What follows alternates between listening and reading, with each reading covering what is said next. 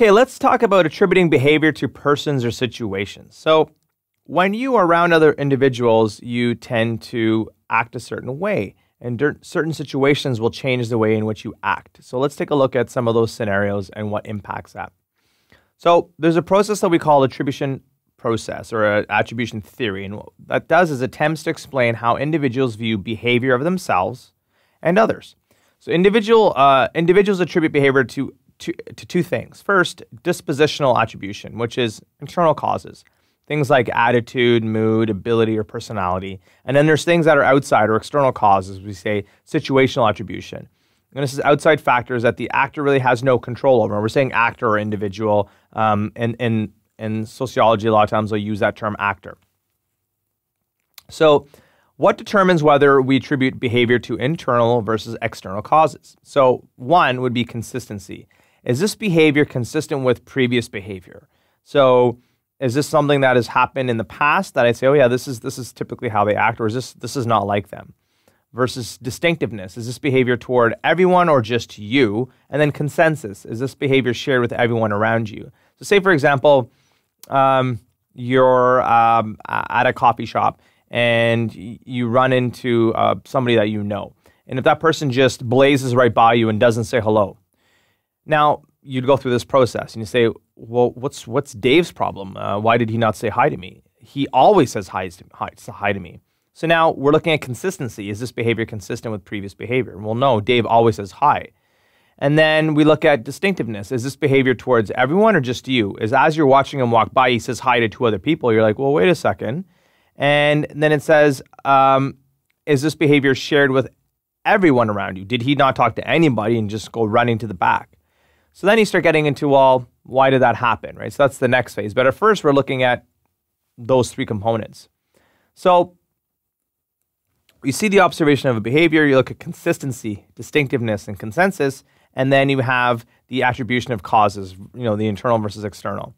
So fundamental attribution error is when our analysis of someone's behavior is incorrect, right? So if we said, well, Dave, what's wrong with Dave? He, you know, he he he's such a dink. I'm so unhappy with him. I don't like him anymore. I don't want to talk to him because he didn't say hi to me. Well, you know, we're now saying that his behavior is reflecting, we're, we're taking his behavior and reflecting that to his personality. We're saying he's not a nice person. I'm unhappy with him. Well, is that really appropriate? Is that fair? And is that correct? Well, we don't know because who knows what was out with Dave? Maybe Dave really had to go to the bathroom. Maybe he didn't see you. Maybe there's something wrong and he's actually quite upset. Maybe he's about to throw up.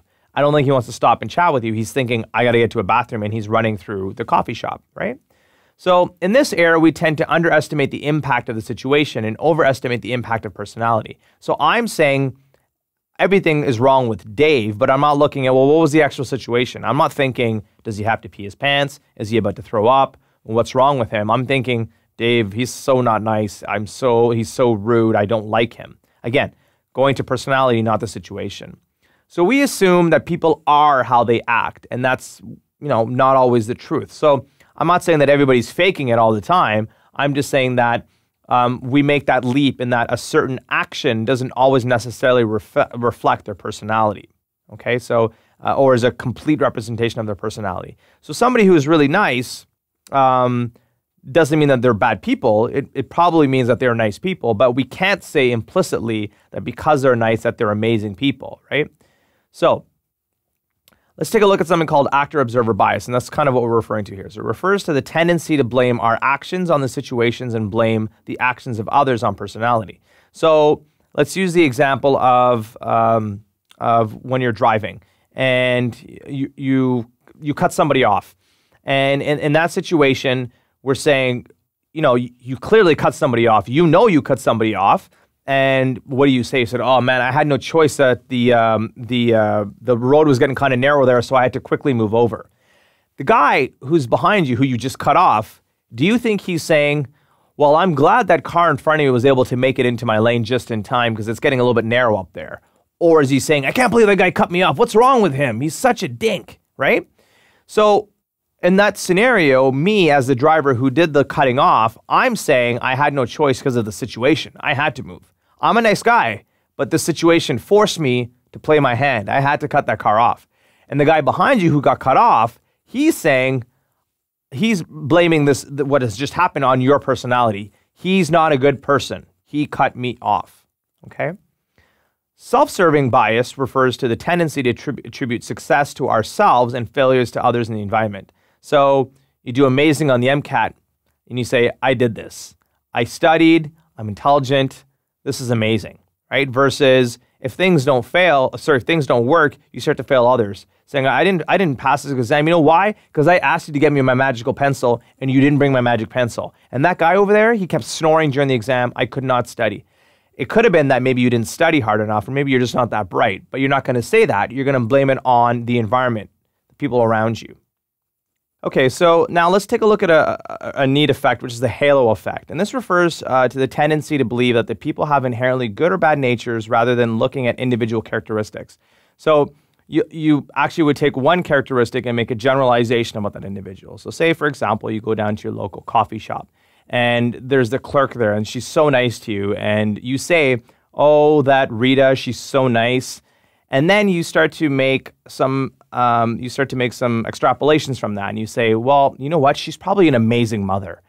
Well how are you able to make that leap? You're saying she's good at the coffee shop because she gives you a you know i don't know a little extra cookie on the side but that doesn't necessarily mean she's a really a great person and she's an amazing mother. But you're making that you're making that leap based on that one characteristic that you've identified.